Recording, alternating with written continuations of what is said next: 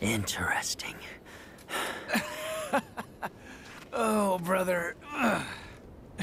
You cut off your own son's arm for more power, and you still lost. Enough, damn it! The underworld is taking over. We need to do something before it's too late.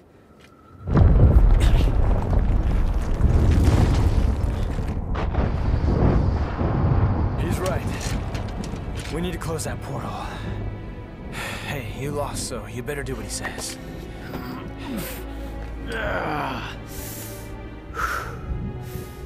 I can still fight. But if those roots continue to spread through town, it'll just interfere with our business. Now, that's the smartest thing I've ever heard you say. Better hurry up. We still got a score to settle. Evidently. Wait! Where are you going? We need to sever the Qliphoth roots from the underworld itself. Then we'll seal the portal with the Yamato. Hang on. If you do that, you can't come back. Why do you think I'm going? Somebody's got to keep an eye on your old man. You can't just expect me to stay here while you both go It's in- because you're here we can go.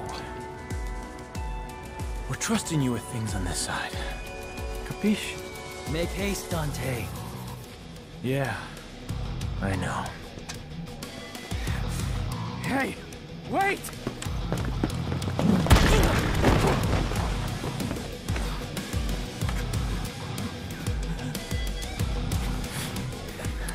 Take care, Nero.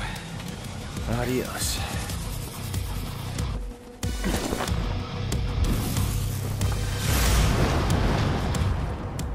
I won't lose next time.